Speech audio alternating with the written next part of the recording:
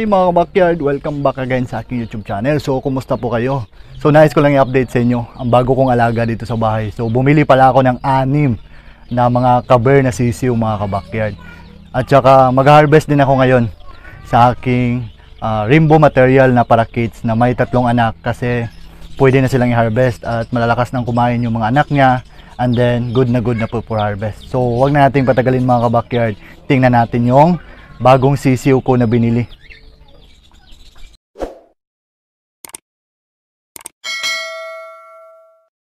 So ito sila mga kabakyard, doon ko sila binili sa Pugon Market kasi bumili ako ng bigas doon. Tsaka may nakita ako nagbibenta ng mga sisiyo ng cover. Kaya bumili ako ng anim, ayan.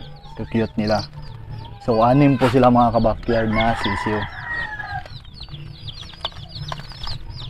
Ayan, kunin ko isa-isa para malagay ko na sila sa ah, karton. So ayan, nasa karton na po ang cover na nabili ko. So alam nyo ba mga kabakyard kung magkano ang bili ko nito? So napakamura lang ng anim na cover mga kabakyard. Dahil ang bili ko sa anim na to is 60 pesos lang. Nabili ko siya sa Kogon Market dito sa amin, dito sa Cagayan. Kasi may nakita ko kanina sa pagbili ko ng bigas doon na may nagbibenta ng mga sisiyo ng cover at sinabi ko na magkano. At then, ayun, sinabi niya na ganun. Kaya bumili na ako mga kabakyard. Kasi ang kagandahan pag may cover tayong alaga sa bahay, 45 days o 50 days, pwede na natin silang maihaw.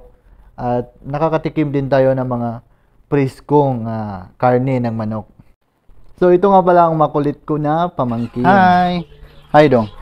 Hi, Na, kumusta? kumusta? Ina, please subscribe my YouTube channel. Ano? Ina, please Yes, subscribe hi. my YouTube channel. Johnny. Ay, very good. So, ang pamangkin ko nga pala na nakita nyo mga kabakyard, pag once nagbibigay ako ng mga patuka sa aking mga alagang ibon, tsaka sa aking mga alagang manok, is palagi po siyang sumasama sa akin. Kasi love na love ko po yung pamangkin ko na yon Kasi ang bait talaga ng batang yon So, ayan mga kabakyard, ito nga palang parisa na to ang i-harvest ko ngayon dahil ang kanilang ah, parents is mayroon ng dalawang itlog And then, ang tatlong to na rainbow material parakeets is good na good na for harvest. Kaya kukunin na natin ngayon. So, ito, nakakuha na tayo ng isa. So, ayan, ang cute niya mga backyard. So, bakit nga ba hindi natin pwedeng patagalin ang ating mga alagang ah, painakay na good na for harvest? So, unang-una mga kabakyard, hindi natin pwedeng patagalin sa cage. Lalo na kapag ang parents is may itlog na. Kasi ang tendency po niyan, is maaari pong patayin ng parents sa kanilang mga painakay. Dahil ah, nakaka-stress po sa ating hen ang may mga painakay sa kanilang cage lalong-lalo na pag nag-iitlog na sila. At saka ang hen din is masyadong territorial yan kapag nag-start na siya ng breeding kaya kinuha ko na yung tatlong ah, rainbow material ko na parakeets para maiwasan natin yung ah, pagka ah, sugat o pagkamatay nila dahil inaatake sila ng kanilang parents. So ayan ang cute po ng tatlong ah, rainbow material na na-harvest natin mga ka-backyard. So sa tatlong to is kukuha pala ako ng dalawa kasi plan ko na gawin ko siyang future breeder pag once ah, pwede na siyang magamit for breeding kaya doon ko muna ito ilalagay sa aking nursery cage.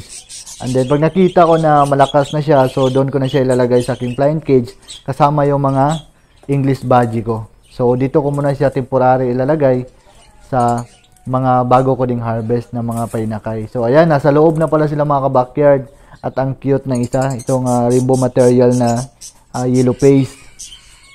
So dahil bata pa sila, hindi pa natin makita yung taglay nilang kagandahan. So pagdating ng 4 months to 5 months, so andun makikita na natin yung mga ganda nila at ang ganda ng kanilang kulay. So, dito na magtatapos ang vlog ko mga kabakyard. Maraming salamat po sa panonood. As lang ako na malaking malaking malaking favor sa inyo mga kabakyard. Kung hindi ka pa nakasubscribe sa aking YouTube channel, please subscribe para lagi kang updated sa mga ilalabas kong videos patungkol sa mga alaga ko sa bahay. So, God bless po sa ating lahat mga kabakyard. Mag-ingat po tayo.